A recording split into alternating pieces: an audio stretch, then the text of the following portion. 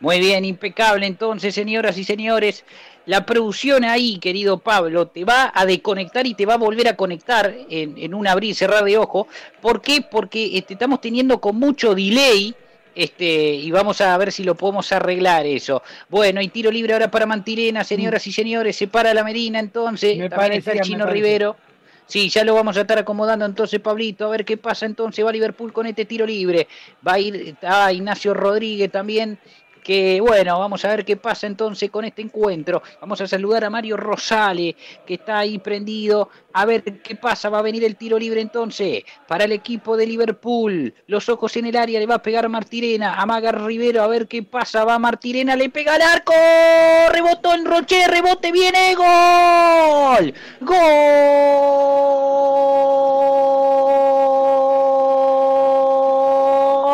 de Liverpool para mí Napoli por último tocó la pelota al tiro libre de afuera al área. Roche dio el rebote al medio de un zapatazo de Martirena. Le venció la mano al arquero tricolor. La pelota picó entre el punto penal y la área chica. Apareció a toda velocidad Napoli para tocar la pelota frente a la desesperante salida Roche. La pelota entró contra un palo. Cinco minutos, primera parte. Liverpool pega primero. Liverpool 1, Nacional 0. Primero Enzo, después Pablo. Y bueno, parece un déjà vu para Nacional como en el clásico. ¿eh? Los primeros cinco minutos, en este caso ante Liverpool, ya lo sorprende el conjunto que hoy oficia de local. Un remate de Gastón Martirena, prácticamente entre 30 a 29 metros sobre el arco de Rochet del fundazo de Martirena, origina que Sergio Rochet no pueda controlar la, pelota, intente este, por lo menos tratar de desviar el rebote, pero le quedó ahí en el medio justito para Gonzalo Napoli que anduvo muy rápido ante los zagueros de Nacional para que zurda la mande a guardar sobre el palo derecho del arco de Rochet.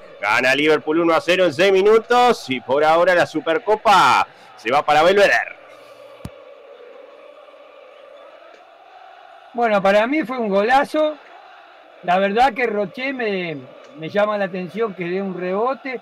Y qué tarde reacciona la defensa de Nacional Fíjate que en ese momento habían tres, tres atacantes del equipo de Liverpool y llegaron, después de los tres, llegaron los, defensas de Nacional. La verdad, muy mal el fondo de Nacional, muy bien el equipo eh, azul y negro. Adelante.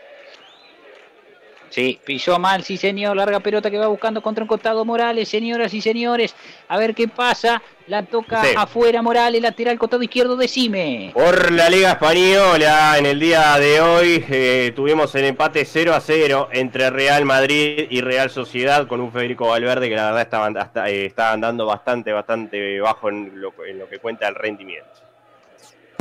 Muy bien, señoras y señores, a ver qué pasa, pelota afuera, casi 50 minutos. Casi 50 minutos, señoras y señores. Se nos va entonces el partido y está Zunino para reponer jugando con Napoli. Napoli para Zunino. Cubre la pelota Zunino entre dos. Pelea del piso, viene a buscar Polenta. Falta. Bueno, Falta. Sí, retención Marca el juez, tiro libre para Nacional. Entonces tenemos 95 de 96, última vuelta, reloj, último 60 segundos y se acaba Enzo. Y se tiene que apurar Nacional si quiere encontrar el gol del empate.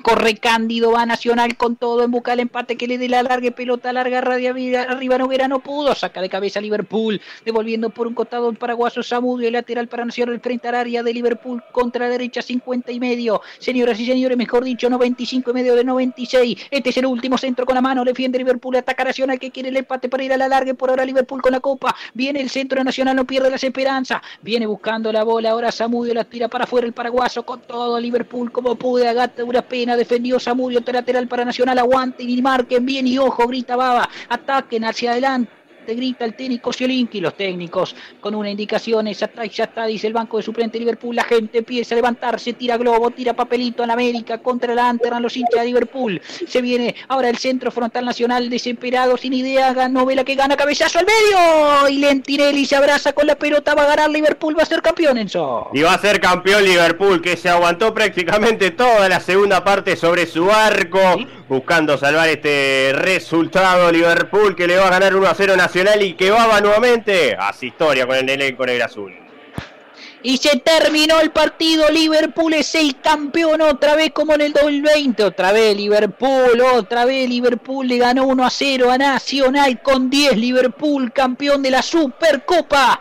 Uruguaya 2023. Liverpool 1, Nacional 0. El gol lo hizo a los 5 minutos de la primera parte Gonzalo Napoli. Un remate de afuera del área, un rebote que dio hacia el medio. El arquero Rochentro Napoli rápido, habilitado, la puso contra un palo y después aguantó defendió, contragolpeó como pudo. Nacional insistió hacia adelante, pero Lentinelli y compañía aguantaron y se quedaron con la Supercopa. Se sienta Liverpool con una copa para Belvedere. Liverpool campeón. Felicidades a todo el pueblo de la cuchilla, a todo el pueblo de Liverpool. Nacional 0 Liverpool 1, campeón Liverpool de la Supercopa 2023. Usted lo escuchó por Deporte Libre Radio y radioeltimbre.wally.com reproductor 1. Escuchamos por Uruguay el Mundo el comentario de Enzo Fernández primero y después el comentario de Pablito Guatini para cerrar esta transmisión. Bueno, final del partido ha ganado Liverpool 1 a 0 ante el conjunto tricolor, campeón de la Supercopa Uruguaya 2023 como en el 2020. Bien lo marcó este Ezequiel,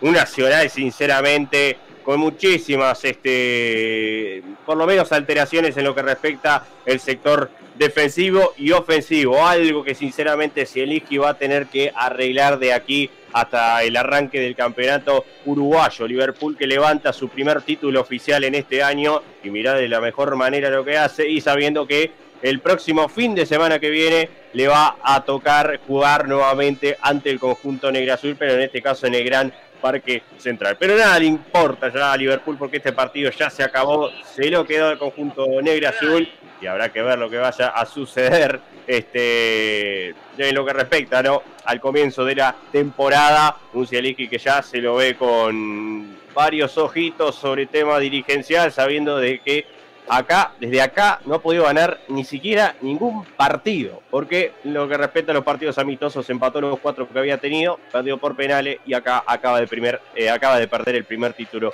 oficial con Nacional. Este, esto ha sido todo. Yo me despido. Abrazo grande para todos. Dale, Pablito, nomás. Bueno, queridos amigos, coincido contigo. Justamente eso iba a decir. La aparición del nuevo técnico de Nacional no le ha rodado bien, ha perdido los compromisos, los compromisos de clásicos, el clásico, los compromisos que tuvo eh, amistosos, y ahora esto es un duro revés para esta escuadra tricolor que no ha encontrado desarmar la madera. Patriada y pico, patriada y pico del equipo azul y negro del Liverpool, que vuelve como en el 2020 a obtener el título de la Supercopa. Este, digno de admirar, yo lo dije, para mí, el artífice de, esta copa lo tiene en la mano el arquero. Nosotros, nosotros tenemos que mirar la calidad de jugadores que tenemos, que lo dejen hacer lo que ellos saben y lo que quieren hacer. No se juega con figuras ni con nombres, se juegan con jugadores que sean inteligentes, que aproveche las oportunidades. Y vimos en el clásico lo que hizo el jugador de Peñarol, el jovencito. Vimos este rubio, ¿eh? que juega acá en el equipo de Liverpool, aprovechando la distracción de la defensa nacional, muy mal parada en varios sectores. Y gracias a una fatalidad de que expulsan al jugador de Liverpool, como quien dice, Nacional no pudo aprovechar ni el hombre de más, ni las jugadas de juego, porque tenía que haber empezado por no entrar por el carril del medio y explotar malas puntas. Con jugadores como Fagundes, como el mismo eh, Puma, eh, y bueno, yo qué sé, tenía muchas cosas para hacer. Tenía cancha, jugador de menos, jugador, un jugador de más, no supo qué hacer Nacional. Se apuró, se abatató, se encontró que Liverpool le tapó todas las opciones y yo no creo en brujas ni en suerte ni en nada de eso. Pero hoy la cosa, la cruz estuvo a favor del equipo de Liverpool y Nacional quedó crucificado.